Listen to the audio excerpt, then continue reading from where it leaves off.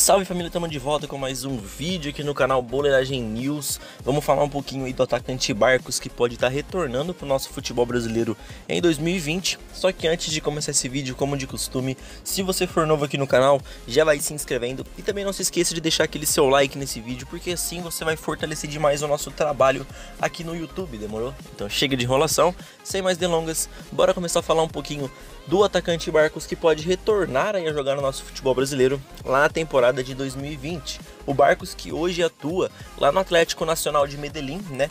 E tem tá em final de contrato lá com o clube colombiano e pode pintar aqui no nosso futebol brasileiro mais uma vez na temporada de 2020. O Barcos fez grande sucesso, né, atuando com a camisa do Palmeiras há algum tempo atrás e também jogou muita bola pelo Grêmio, né? Foi lá para fora, não brilhou muito que nem ele brilhou aqui dentro do Brasil, e agora tem a possibilidade dele retornar aqui para o nosso futebol brasileiro para tentar demonstrar aquele bom futebol que ele jogou na época de Grêmio e também de Palmeiras. Né? O Barcos, como eu disse, está em final de contrato e o Atlético Nacional de Medellín não quer renovar o seu vínculo por mais algumas temporadas aí que nem ele desejaria. Então, seus empresários ofereceram o Barcos a alguns clubes aqui do nosso país e esses clubes estão estudando essa possível negociação com o Barcos para a próxima temporada. Esses dois clubes são o Vasco e o Santos, né, mano? Uns dois clubes aí que meio que não tem dinheiro aqui no nosso país. Então, o Santos e o Vasco deveriam contratar jogadores desse nível, desse jeito, digamos assim. Até porque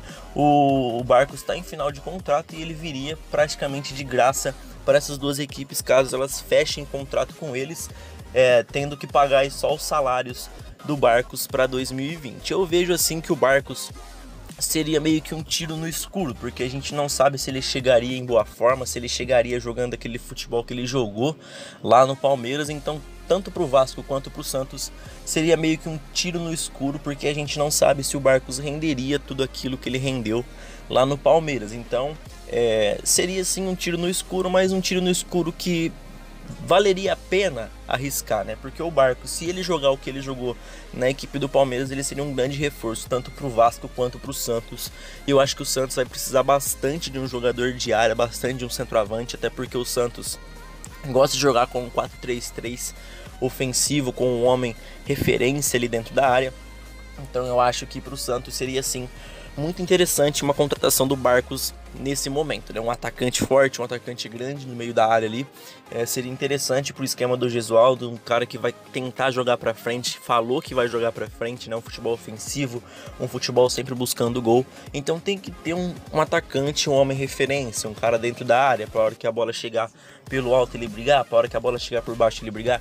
Aquele centroavantão nato, digamos assim. Então eu acho que o Barco seria assim um tiro no um tiro no escuro, né, digamos, só que seria aquele tiro no escuro que valeria a pena você optar, porque o Barcos, caso ele jogue, caso ele venha é, focado, caso ele queira jogar, é um grande jogador, é um grande atleta, então eu acho que seria sim que valeria a pena né, essa contratação do Vasco, do, do, do Barcos, tanto para o Vasco quanto para o Santos. Então vamos ver nos próximos dias aí quais vão ser as movimentações no mercado da bola. Né? A gente ainda não sabe se essas, se essas negociações vão se concretizar ou não. Né? O Vasco e o Santos aí estão esperando, digamos assim, é, os dirigentes, enfim.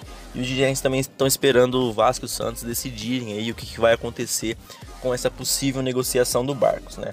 Eu acho que os times têm o interesse, né? Agora só tem que sentar e conversar aí para ver o que vai ser resolvido. O Atlético Nacional, como eu disse, não vai renovar o contrato e o Barcos vai ficar livre no mercado para 2020. O vídeo vai encerrando por aqui, espero que tenham curtido. Se você curtiu, não se esqueça de deixar o seu like, se inscreve no canal se você for novo. E é isso aí.